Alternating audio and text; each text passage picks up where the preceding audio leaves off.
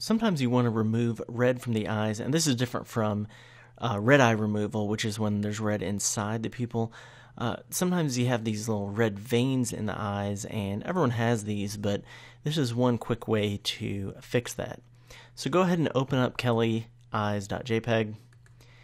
And this is my friend Kelly, and just a little bit of veins, you can, or whatever they are, right there. You know, little red lines. Uh, let's work on a duplicated layer.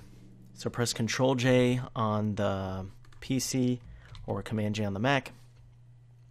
This is one of those situations where we are going to actually use the clone stamp tool. Uh, with some of the other adjustments um, and retouching, we're using spot healing brush, healing brush, or perhaps the patch tool, but in this instance, the clone stamp tool should actually work well. Up at the top on the options panel here, I would set opacity down a little bit, maybe down to 75%, maybe even lower, really depending on what photo you're using. And whether or not we want aligned check, that depends on if you want it to keep sampling from one area or you want it to sample in a specific relation to where you're clicking. I'm going to uncheck aligned because I want to just sample from one area and then I'm going to click and drag and it will just sample from there.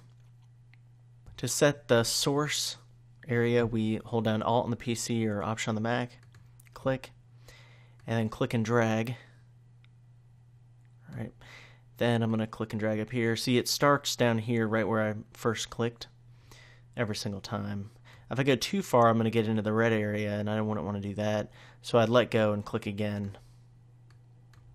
All right. And over here, uh, I'm going to sample again. So I'm going to alt click and click and drag. Make sure you have the soft edge brush.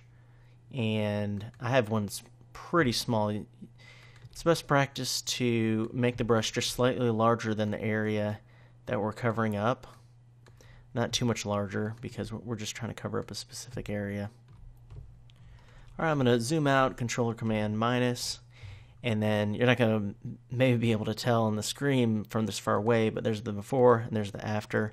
I can actually see it, the before and after.